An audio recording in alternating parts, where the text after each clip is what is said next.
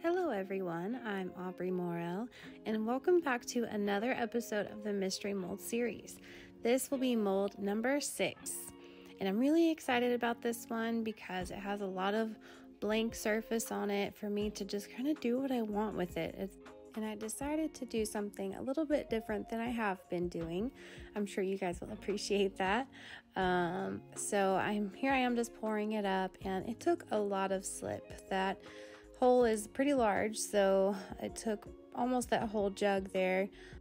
But I let that one sit for about 35 minutes just because I wanted the walls to be of a decent thickness. Uh, I think that walls ended up being around a quarter of an inch thick, which is kind of what I was going for. Um, so there I am just pouring it out, and then I'll prop it up to let it sit upside down for a while so that the slip doesn't fall back into the mold and create thick spots. And here is the reveal. Maybe. we got a vase and it's a beautiful shape and i was so excited to see that um, there's a lot of potential with this piece and i only made three of them but on each one i did something a little bit different. I also want to make more of these just to go back and do more cutesy type style stuff but i really wanted to just experiment with um, glaze combinations on this one. Uh, so you'll see the they turned out beautiful in the end, so I'm excited for you guys to see those. Uh, just cutting off the excess where the pour spout was, um, and then I'll take some time to clean up all of the seams and make sure that everything just looks smooth. Um, just because this piece is such a smooth finish, uh, you'll probably see any raised areas underneath the glaze. Um, so I'm just cleaning those up the best that I can. I'm not perfect at that yet. It's hard to get it to look like it's not a slip casted piece. Um, but that I'm sure just comes with time and practice and experience, and that's fine. I do wish I would have taken more time to make sure that the base was flat, although I did get them fairly flat. Uh, they just rocked a little bit, and with a vase having water and flowers in it, you're going to want it to be as sturdy as possible. Um, on one of my previous videos, a lovely um, viewer suggested that I put some water on my table and just uh, rub it around on there to make it flat. And I didn't know to do that at this point. This I filmed this quite a while back. Um, but in the future, that's definitely what I do. What I will do when I make more of these, which I plan to because it turned out so cute. And then here I am with the Mud Tools sponge. This is the white sponge, which is probably my favorite one just because of the absorbent absorbency and the finish of it. Um, but that was the right sponge to use for this application here just to get the piece really smooth and ready for glazing.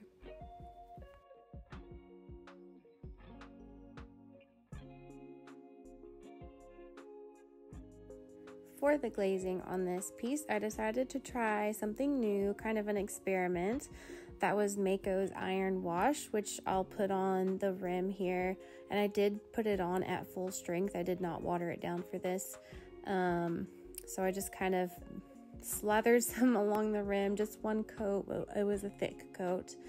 Um, and then over that, I will put three coats of Amaco's Honey Flux over that. I wanted to see how the Honey Flux and the Iron Wash would interact together, and I think it turned out pretty cool. Um, I'm excited to experiment with that a little bit more. I bought the iron wash and the manganese wash, and um, I had bought them to do an antler handle for a mug because I was wanting something more uh, rustic looking. So I decided to try those washes. Um, and those are going to go a long way because it does not take much on a piece to get the effect you're looking for.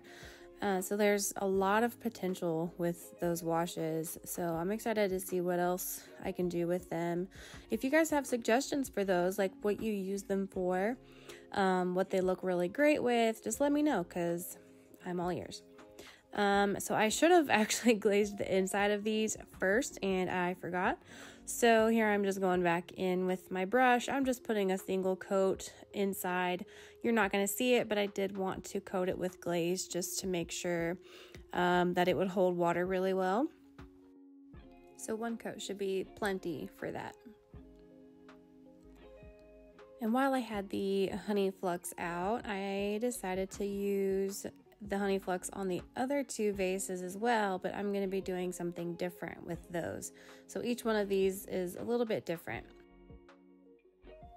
I went ahead and did the three coats of honey flux on the other two vases while I had my jar of glaze out. So here I am just applying it, um, not in any particular pattern or anything. Honey flux does move, um, so I, I do try to do it in horizontal stripe applications just because I want it to look like ribbons of glaze as it drips.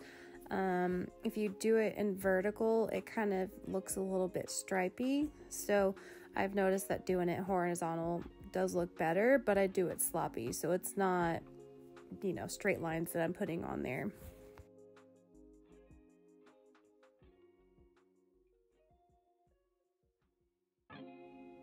On the second base, I decided to do the Honey Flux and Chun Plum combo, which I have used many times and it always turns out so gorgeous. And you'll see why I believe that in the end.